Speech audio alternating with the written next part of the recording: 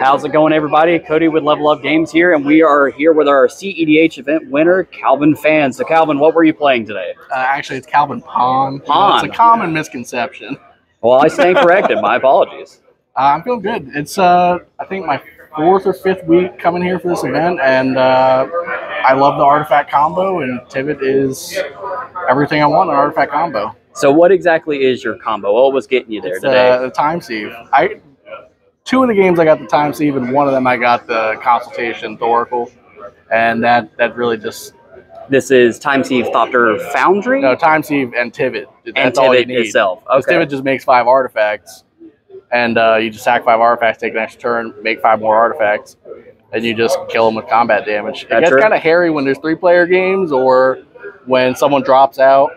We had a, a moment earlier where someone conceded after they took damage, and uh, my number goes down of artifacts. So I need to keep casting artifacts or hopefully get there it, with the amount of artifacts I have on the board. So, it works you, out pretty well. so you ended up with the 3-0 today. So, did you have any of the matchups where you thought you weren't going to get it? I always feel like I'm gonna get it, even when I'm delusional. I feel like I'm gonna get it. Gotta love the confidence there, Yeah. at least. I mean, Esper. You have to have that Esper confidence.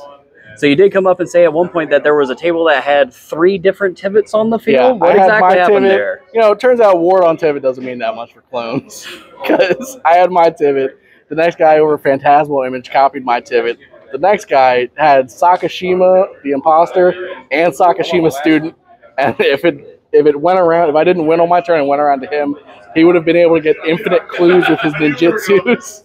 Which A few moments later. All right, so you came up and mentioned that there was a point in one of the games where there were three different Tivits on the field. What exactly four happened? Tivits Four the field, Tivits on the field.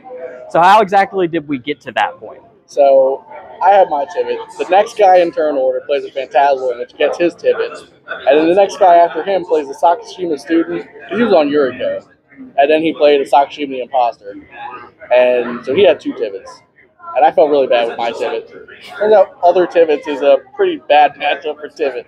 Because you need to deal the combat damage to get the treasures. Fair enough. So as for anybody who might be kind of wary as far as getting into the CEDH format, do you have any tips or advice for somebody who's just looking to get in the door? Uh, if you're playing artifact combo, pack removal for the Null Rod because everyone's packing a Null Rod.